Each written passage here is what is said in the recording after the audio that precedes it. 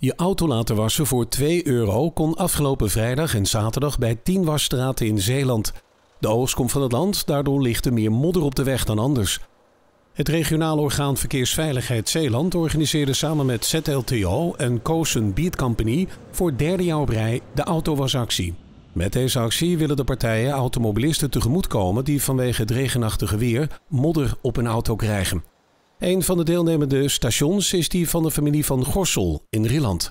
We willen ook laten zien, de boeren die doen altijd wel hun best om de wegen zo schoon mogelijk achter te laten. Maar ja, uh, niet alle slik wordt weggehaald. Dus dan op deze manier uh, proberen we ook uh, een beetje de mensen tegemoet te komen.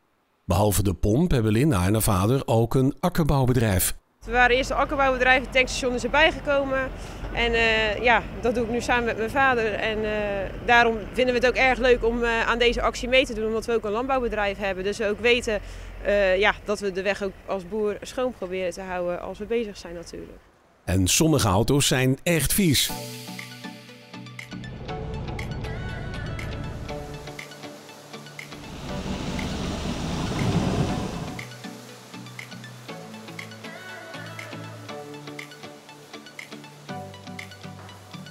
En komen er schoon weer uit. De mensen die gebruik maken van de actie zijn enthousiast. Ja, prima natuurlijk. Scheelt toch weer een beetje geld om te wassen. Ze zijn goed vies deze tijd van het jaar dus. En twee jaar geleden hebben we dat ook hier gedaan. En toen was het een heel groot succes. En nu uh, zijn er meer erbij aangesloten. Hij was heel erg vies, maar ik woon precies buitenaf in de polder. Dus wij hebben ook wel echt last van vieze wegen. Modder op de wegen tijdens de oogstperiode worden door de boeren zelf zo snel mogelijk schoongemaakt.